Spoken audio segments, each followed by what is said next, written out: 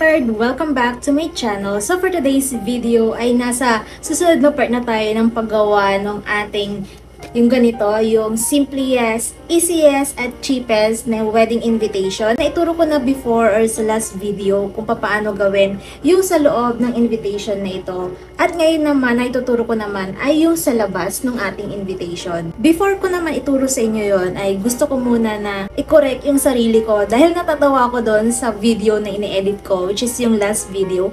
Dahil ang sinabi ko doon is uh, simplest, easiest, and cheapest. So, nagtataka ko bakit ganun yung pagbigkas ko. So, siguro nadamay lang yung cheapest doon sa simplest at easiest. Pero dapat talaga ay cheapest ang sasabihin ko doon. So, ayun, kinorek ko na, inayos ko na kung paano ko siya i-pronounce kung sakali man na napanood ninyo yung unang video na yon So, alam niyo na, madaming, madaming perfecto sa mundo, kaya ayan, kinokorek ko yung sarili ko dito. And dun ka na-realize nung in-edit ko na mali yung nabanggit ko doon. Pero, simplest, easiest, at cheapest cheapest talaga yung word na yon yung ating gagawin ngayon. So, nasa second part na tayo ng paggawa nitong layout. So, of course, pupunta ulit tayo ng aking screen at i-prepare nyo na yung inyong Microsoft Word para may turo ko na sa inyo yung part 2 ng pag-layout dito sa ating invitation. So, andito tayo ulit sa aking screen and ang nakikita ninyo ngayon as usual ay yung lagi kong sinasabi na default paper dito sa Microsoft Word. So, sobrang dali lang nitong gagawin natin ngayon.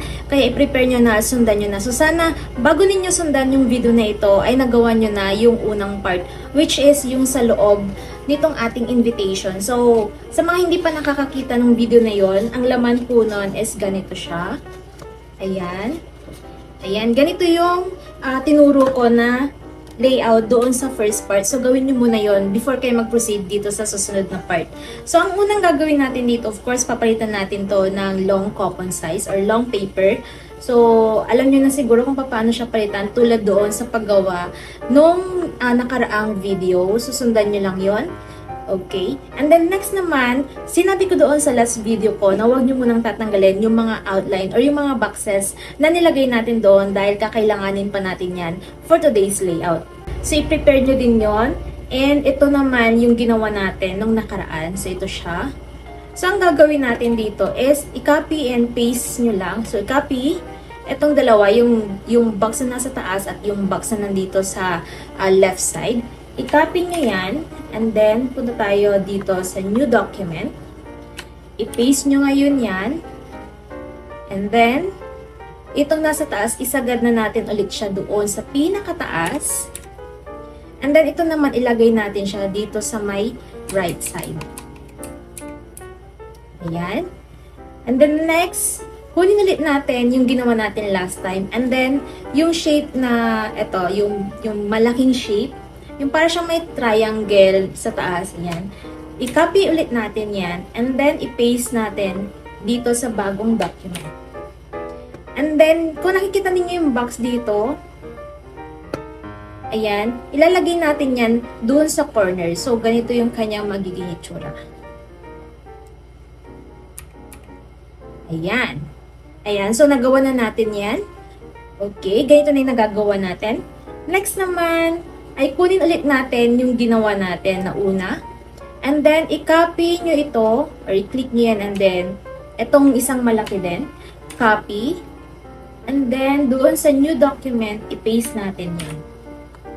Okay? And then, isagad natin dito sa baba. Ayan. So, dapat nakasagad siya dito sa baba.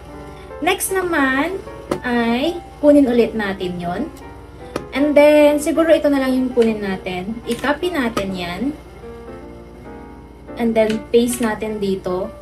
At ang ilalagay natin dito ay yung initial ni Bloom. So, nasa sa inyo na siguro po naka-capitalize or naka-small letter yung uh, gagawin ninyo. Pero ang gagawin ko dito is small letter lang siya. Oops. Small letter. Ayan.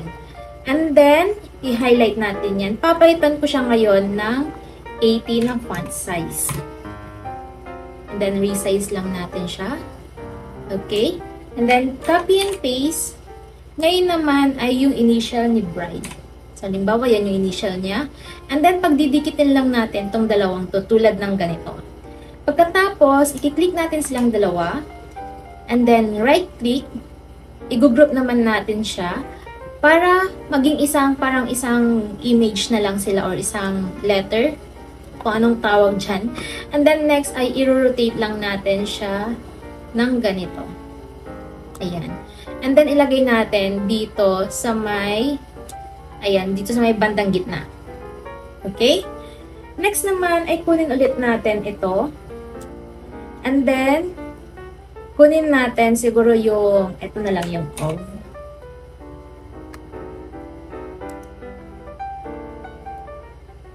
And then, i-paste natin dito. Kunin natin yan, habaan natin yung box nito. And then, palitan natin yan na your invited. Or pwede din yung um, your, you, you're cordially invited. Munti ko hindi mabanggit na naman. So, you're cordially invited, pwede din yun. Or pwede din na you're invited tulad nito. And then, syempre lalagyan natin siya ng guhit. So, lagyan natin ng guhit. Diyan natin susulat kung sino yung mga i-invite natin. Highlight natin yan. And then, papalitan ko siya ng font size into 15. Then, habaan ko pa ng konti yung line. And then, ilagay natin siya dito sa bandang gitna. And then, ayan. Goods na tayo, okay na yan, tapos na tayo sa paggawa dito sa second layout. Pero of course, nasa sa inyo kung gusto nyo pang maglagay ng design. Tulad nito, kung gusto nyo maglagay ng ganitong design, pwede din. Pero of course, dahil lang tinuro ko sa inyo doon sa una kong video or doon sa unang layout is plain lang siya, kaya yun lang din yung ituturo ko sa inyo dito. So tulad nito, plain lang siya. Pero of course, sa inyo kung ano yung ginawa ninyong design dito, pwede din na gawin ninyong design dito sa second layout. So ganito lang kadali yung second part ng paggawa ng ating wedding invitation. So, ayun, natapos na natin gawin yung second part nitong paggawa ng ating simplest, easiest, at cheapest na wedding invitation na pwede ninyong gawin para sa inyong event. So, sana sundan ninyo yung second part natin or yung ating second layout which is yung dito sa likod. So, pasensya na kayo kung maingay yung aso. Sana nagawa nyo na din yung sa loob or yung sa first part ng ating layout dahil ginawa lang din natin yon using Microsoft Word. So, as of now, ay dapat meron na kayong dalawang layout which is yung sa loob at yung sa labas. Dahil ang susunod na video naman ay tuturo ko sa inyo ay kung paano siya i-print at kung ano pa yung mga kailangan gawin bago siya i-print. So, i-prepare nyo na din yung dalawang layout na ginawa natin using Microsoft Word. At sa susunod na video ay i-prepare nyo na din yung mga materials na meron kayo. So, ayan, sana sundan ninyo ang video today and kung may mga request and suggestion pa kayo, mag-comment lang kayo dyan sa baba at gagawin natin yan ng video. Again, thank you so much for watching and see you sa ating next video. Don't forget to like and subscribe. Bye!